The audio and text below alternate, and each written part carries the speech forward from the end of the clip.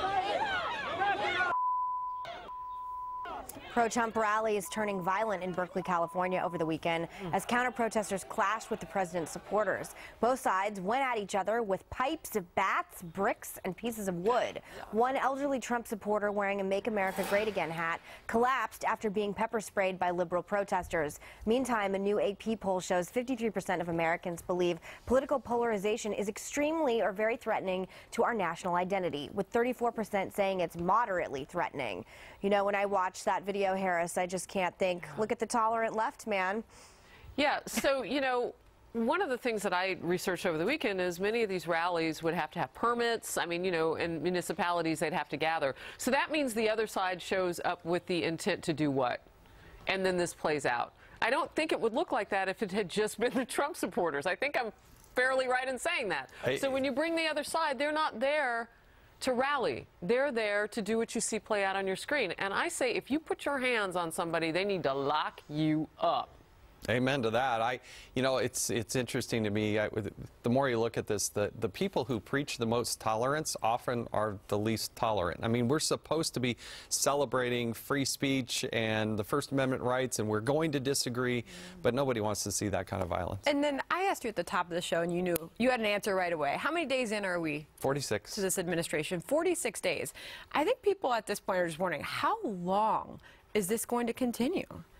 I, I don't know. I mean, I had my own town hall, and I had a lot of people show up, and and uh, but I think their their objective, not all of them, certainly not. A lot of people just came to express their frustration, but there were a few in the crowd that their main purpose was bullying and intimidation. They're trying to shut down the dialogue.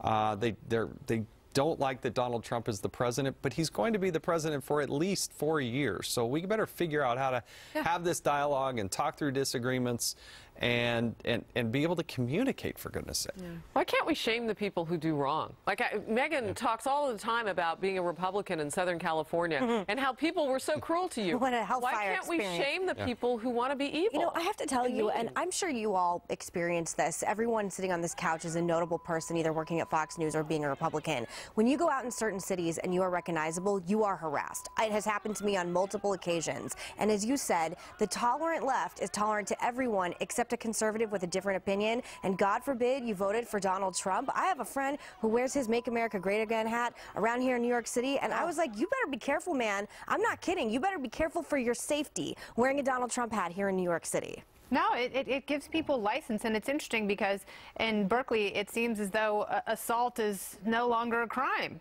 nor is vandalism. You know, you look at, at what happened at the campus protest, mm -hmm. and, and now you know there's this incendiary climate in Berkeley, and it was the birthplace of free speech in the 60s. This used to be a countercultural, interesting place to have conversations about things that, that made you slightly uncomfortable. That is no longer possible and the left is only tolerant if you agree with them. And that's that's awful. So this is what it looks like when they break out of a safe space. well, yeah, or, or, try and take someone's safe space from them by force. The violence is just really disgusting. Yeah, no. If you like something other than Grey Poupon, heaven forbid you like mustard, they're going to come after you. That's the way it feels. It's liberal elitism that uh, it's just very dangerous. Yeah, yeah. It's really sad. All right, more outnumbered in just a moment.